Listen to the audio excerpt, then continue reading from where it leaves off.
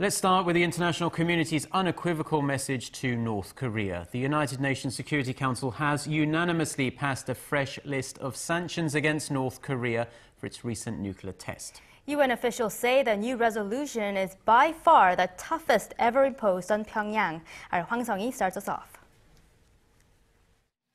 Meeting at UN headquarters in New York on Thursday, all 15 members of the Security Council said yes to stronger sanctions against North Korea for its third nuclear test last month. The fresh list of sanctions, dubbed Resolution 2094, obliges the UN's 193 member states to block any financial transactions or monetary transfers that could contribute to Pyongyang's nuclear or ballistic missile programs. It also spells out tightened inspections of suspicious land, sea, or air cargo departing from or heading to the communist state. The council blacklisted two North Korean enterprises and three individuals working for North Korean companies that are believed to be involved in Pyongyang's missile program and arms trade. Following the meeting, UN officials called on North Korea to make the right decision this time.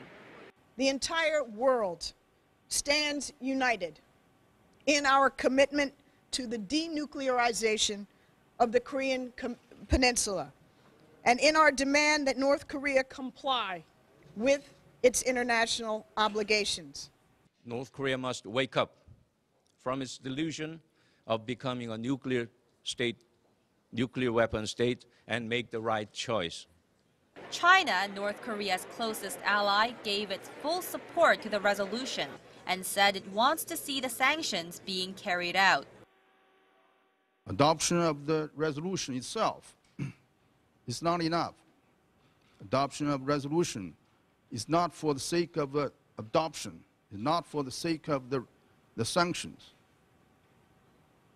We want to see full implementation of the resolution.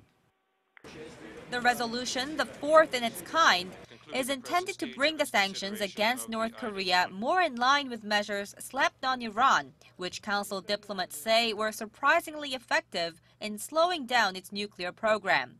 The Council warned that further provocations by the North will be met with further significant measures, but added the international community is open for dialogue. Experts say the effectiveness of the new resolution lies in the hands of Beijing, as it has often extended a helping hand to the North when it was shut out by the international community in the past. Hwang Sung-hee, Arirang News.